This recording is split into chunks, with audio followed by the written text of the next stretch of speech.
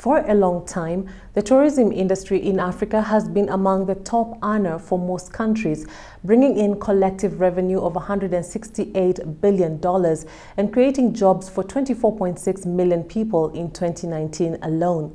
However, the COVID-19 pandemic brought the industry to its knees. In Rwanda, tourism is the largest source of foreign exchange earnings and was the biggest contributor to the national export strategy pre-pandemic. The Rwandan government spared no efforts to aid the recovery of the hard-hit sector. Welcome to Doing Business in Rwanda. In this episode, we look at the current state of the tourism sector in the country, the recovery efforts, as well as Rwanda's conservation milestones. I'll be your host, Tessie Carvin.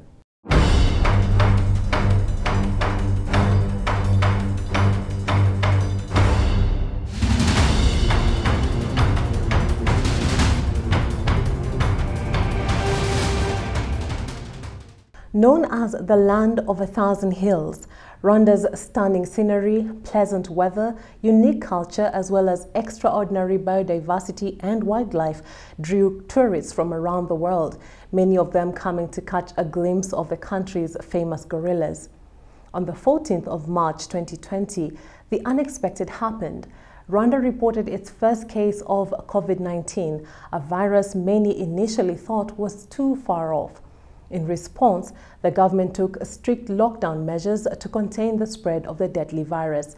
And as the Director General of the Rwanda Chamber of Tourism tells us, the tourism sector immediately felt the impact of these measures, with the pandemic eventually eroding the numerous gains made in the sector, setting it back 15 years.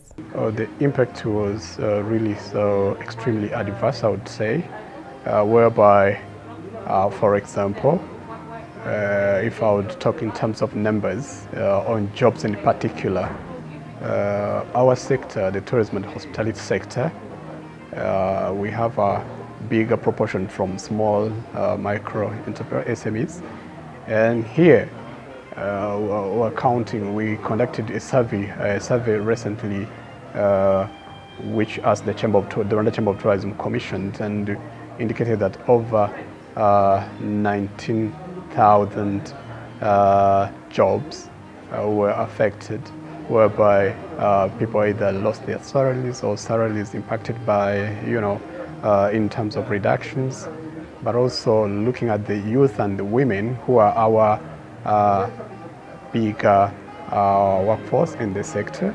we're talking about over 8,000 jobs lost. So that indicates that really uh, the heat was tremendous uh, to extremities of uh, where really the loss up to now we are suffering from those adverse effects. But again, on a big, on a micro, um, um, on a macro point of view, you're talking about uh, about 75% of sales revenue uh, lost. Uh, that was over the past a year.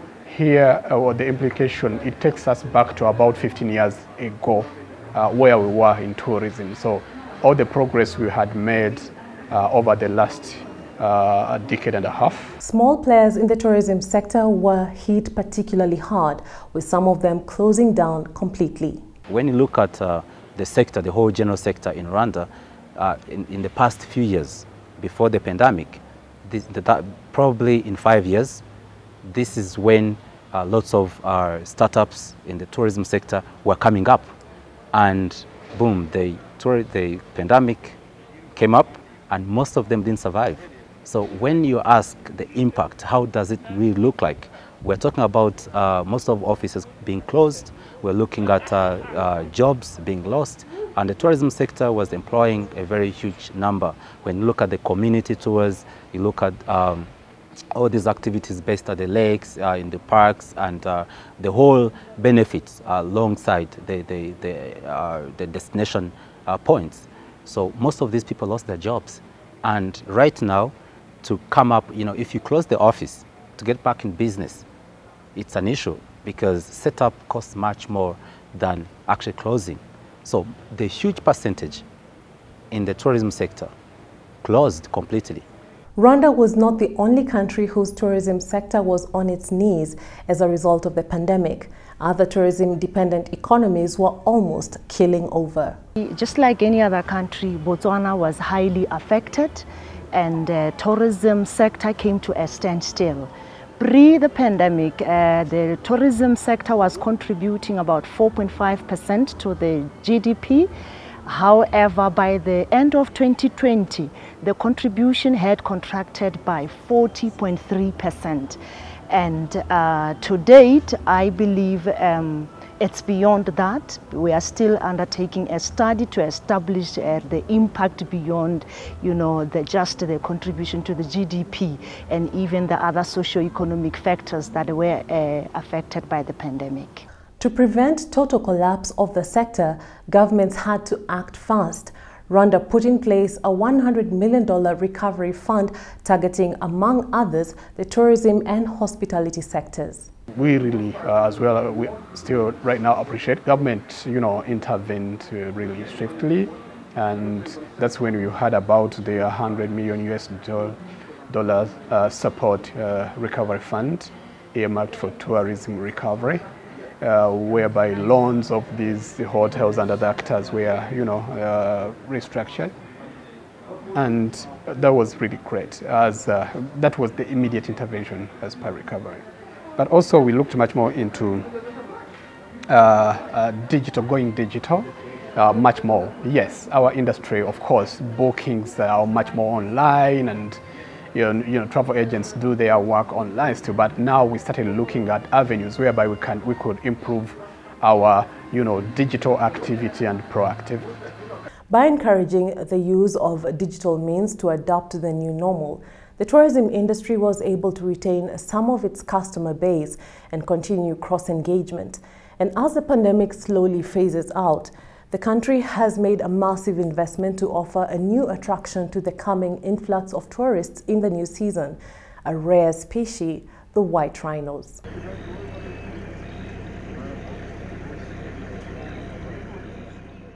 Brought in from their native land, South Africa, the 30 critically endangered white rhinos will share the Akagera National Park with the previously translocated black rhinos, bringing the total rhino population in Rwanda to 56 and adding significantly to the country's conservation efforts and its position as an ecotourism hub in Africa.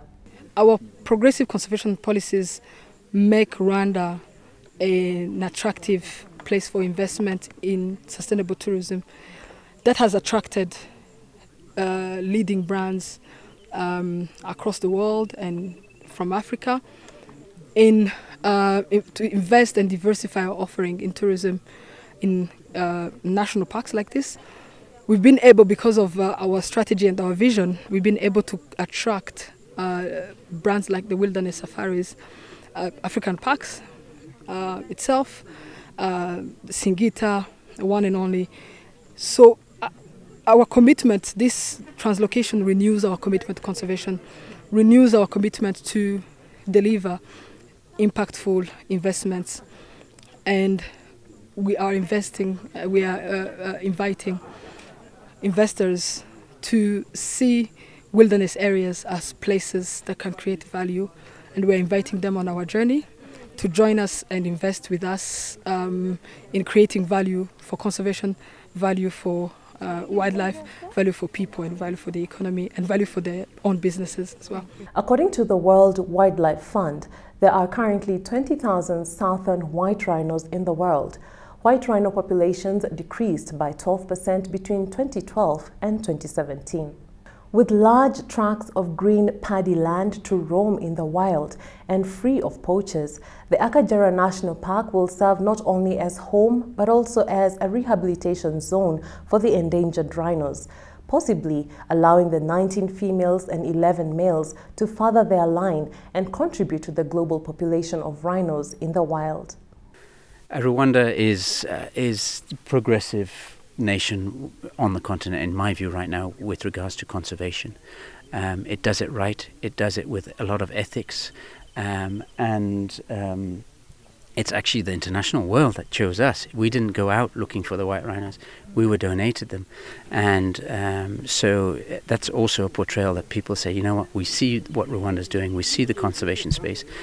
We want to give you rhinos because we know you can look after them. Yeah. Um, nobody will give something if they feel you're going to waste it or lose it or damage it. So um, just just a statement for Rwanda. It shows how progressive it is. But if they stabilize, which hopefully they will do, um, gestation is 17 months. So I'd say in two years' time, 24 months, we should be looking forward to potentially receiving some white rhino calves. To be able to procreate, the animals will need a conducive environment, and the change of soil, climate, and even the air itself poses threats to their well-being. Several measures will be essential to ensure a smooth acclimatization of the white rhinos. Are there any threats here? What sort of threats am I talking about? I'm talking about things like disease. Now, in this particular instance, there is. Um, we are a bit concerned about the level of tsetse flies and the challenges that they're going to face with tsetse flies. They are at a bit of an advantage because they come from an area in South Africa which actually has tsetses, but not at the level that we see here in Akagera. So they've actually been injected already prophylactically, um, just in case they suffer some side effects from trypanosomiasis carried by these tsetses. Um, we also need to look at the security aspects.